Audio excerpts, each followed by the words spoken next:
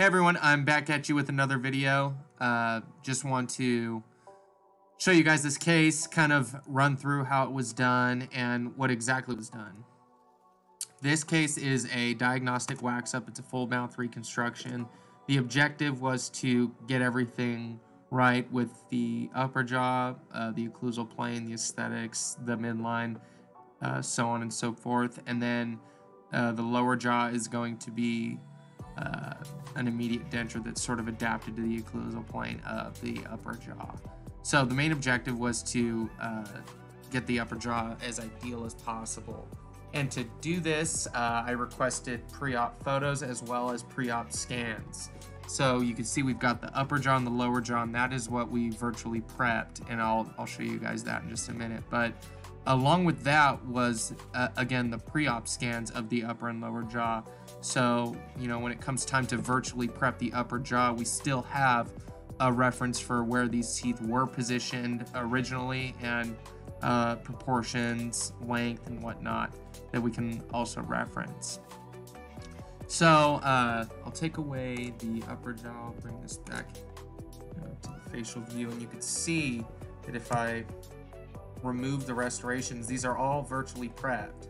And when you when you're doing a full mouth case like this, you kind of lose sight of where everything's naturally positioned, what the patient is used to uh, as far as function and, and bite and whatnot. But um, you know, everything was provided, so it was pretty straightforward and all downhill.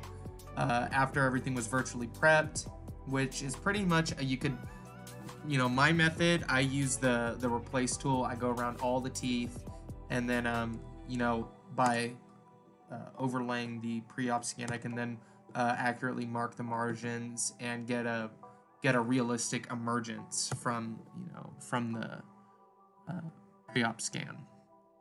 So uh, we wanted to lengthen these, and in the pre-op photos, it's pretty obvious that they need to be lengthened. Uh, we also the the original teeth were somewhat canted, and that was also due to uh, uneven wear of the teeth, but that was all squared away. And I mean, other than that, uh, we removed a little bit of bulkiness. And because of the wear that this patient had, uh, we went into the uh, articulation parameters, opened up the pin about a millimeter, 1.2 millimeters. And that just allowed for a lot more room to improve the aesthetics uh, and whatnot. But overall, very happy with this case. Um, and you know, if you if you did get anything from this video. I'm trying to keep it short here. Uh, just whenever you're you're signing a wax up to someone, uh, it's always best to include, or even if you're doing it yourself, just make sure to include a pre-op scan so that there's still references. Because after that stuff's virtually prepped, the natural teeth are virtually prepped. You kind of lose sight of all that. So always include pre-op scans, always, and um, you know everything should should come out pretty accurate, uh, pretty predictable but I'll give you guys another view of this and how well it turned out. Um, just really nice, really nice case. You can see that there's a pretty dramatic overbite, but um, you know, you can only do so much with crown and bridge. Uh, I don't know what it would take to get that, you know, maybe maybe ortho to get that taken care of, but that's beside the point. Uh, you know, wax up's good to go. And then from here, you know, everything would just be virtually seated. All these crowns would be virtually seated, uh, converted to an STL file, and uh, nested in some sort of slicer software, and then goes onto the 3D printer.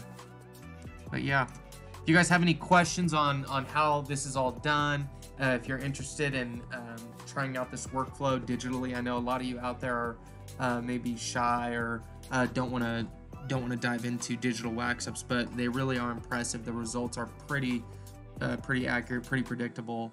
Um, but yeah, if you, you have any questions or you're just uh, interested, uh, feel free to comment below. If you're on YouTube, um, you know, subscribe to the channel. I'm putting out content pretty frequently for, for you guys to, um, you know, digest and, and learn from. But uh, anyways, uh, I'll talk to you guys soon.